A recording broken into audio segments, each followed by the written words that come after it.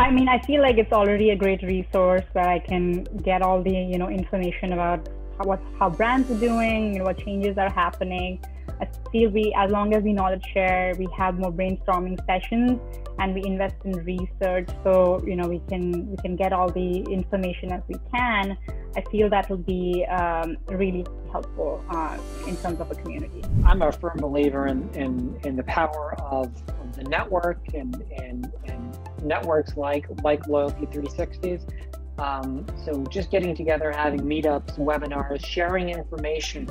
Uh, you know, sharing uh, battle stories, so to speak, from you know from the trenches.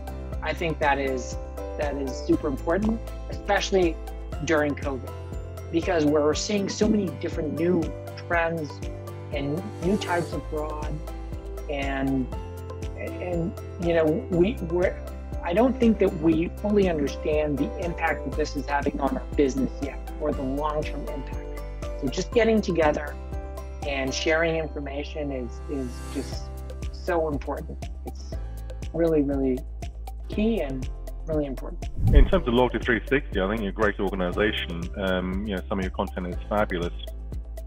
Um, I think a lot of it that I've read is, um, you know, the, the, the what people are doing, and I think that's interesting. I think um, for a lot of folks out there, I'd be interested to know the, the, the, why and the how as well. So I think in terms of you know, showcasing some of that innovation, in terms of not just what it is, but why it's important, uh, how it's being implemented, uh, and, and, just some more detailed um, case studies.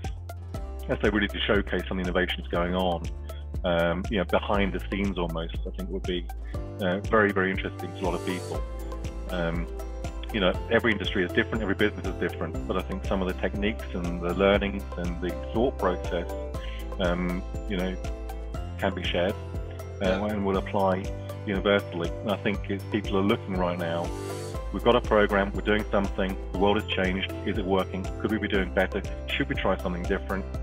Uh, and, and where do we start looking for that? To get inspiration and the ideas. And I think that can be like a 360. You know? So that'd be my kind of advice is just bring together some of those use cases, the what, the why, and the how. Um, and you know a great platform for people to learn. For me, I think uh, what you're doing with a lot of these different panels and being able to provide research and insights on things around technology advancements and just you know the networking opportunities, um, I think is is priceless. So you know being able to have access to go to different um, you know other other counterparts in different industries. Here's what ha- here's what's happening in their industry best practices you know kind of learning from them on different business cases and things that they've done.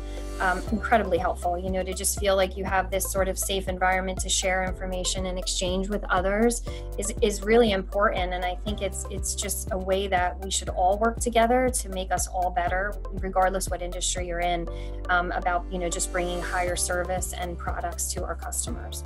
So I'm, I'm really enjoying the opportunity that, that you bring on that front. And then again, I think on the technology side, always being able to understand like what's on the forefront, what do we need to be looking at um, as we you know make our three and five year plans. So so listen, businesses need more insight than ever right now, right? Um, sometimes we get caught in our own echo chamber, and I think customer needs have clearly changed and they need to be heard. So I think generationally diverse discussions, you can call it a town hall, you can call it a focus group. I think the more conversations that an industry group can uh, can facilitate between real consumers. Um, so we're we're a bunch of smart people trying to accomplish a goal.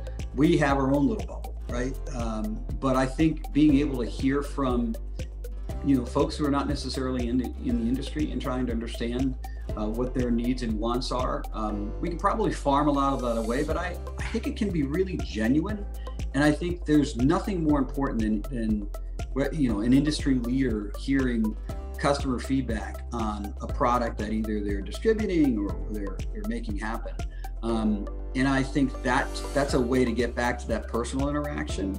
Right. Um, and with Zoom, so much as possible, or or any other tool that you use, to be able to bring those voices online and I think it also, uh, it's just going to make us smarter at the end of the day.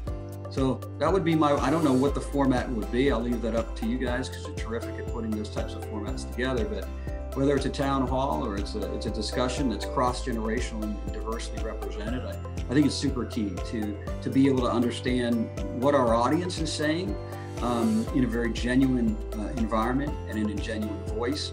And, uh, and, and it would be up to us to, up to us to listen and, and to really, really be able to react to it. So that's my one suggestion.